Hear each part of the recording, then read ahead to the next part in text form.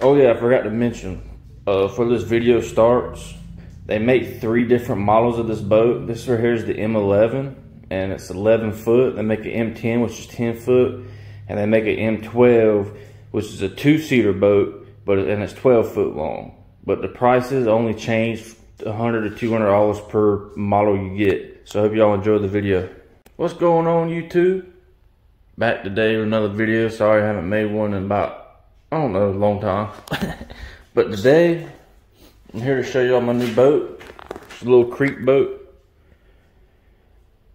I got it somewhere locally. I've done had it out of four or five times. A little dirty right now. But what this is, is a, uh,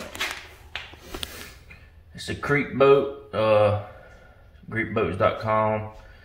They're made in Albemarle, North Carolina, 28001. You can see that. It's a good boat.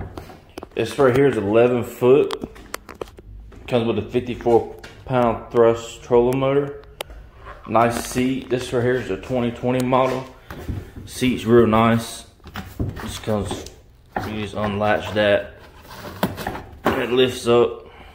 It's real good. And you got your different controls here. Your forward, reverse. And it comes with a, a live well, which don't have nothing in it. There's a plug down there, but it doesn't come with the plug, so you gotta go get you a plug from Walmart or something like that. Well, it's a real nice boat. And here's the battery I have for it. It's just the EverStart from Walmart, 27 DC. It's real nice. But yeah, if y'all would like to see some fishing videos out of this thing, fishing in the creek, catching some brim, warmouth, and crappie and stuff like that, let me know in the comments. But yeah, your battery sits back here. And I got me a fishing crate that I can see right there. And I set my cooler up front. This ain't the cooler I sit. I got a gray one that I sit up here, but it sits nicely like that right there. Throw your drinks and stuff or whatnot in there. But how you control the trolling motor is, once it's laid down, it's easy lay down. All you gotta do is press that latch. And uh, it's these wire cables. It comes down to these foot pedals. And once the motor's down, these right here will stand straight up and you just press them.